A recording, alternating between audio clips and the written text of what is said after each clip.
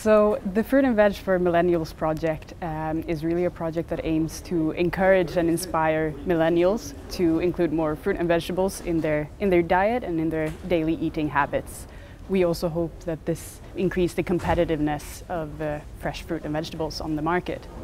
So we've had many successful um, pro projects within this project, but one thing that uh, has uh, been really fun and engaging for, for all, all those involved uh, is that we have started to, for the last two years now, to uh, engage with festivals.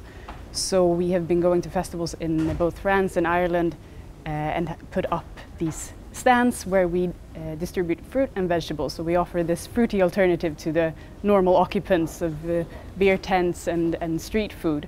Uh, and through this we have managed to engage and educate over 2,000 millennials um, and we have created this reoccurring thing that, that they look forward to uh, for the next year's festival as well. One thing that we have learned and that we have noticed is that uh, consumers and millennials uh, react really well to um, humor and to creativity and music. Uh, and so we have really been very fortunate to be able to work with a lot of influencer ambassadors. Uh, so we have, for instance, influencers who, who post uh, videos where they play guitar, play piano, do DJ sets, uh, and then involve fruit and vegetables in this. Uh, and we have really seen that even the low eaters, the ones that maybe don't eat any fruit and vegetables, they still get really inspired by this creativity and this enthusiasm. Uh, and with, their, with the help of our, our influencer ambassadors, we have been able to reach millions of people.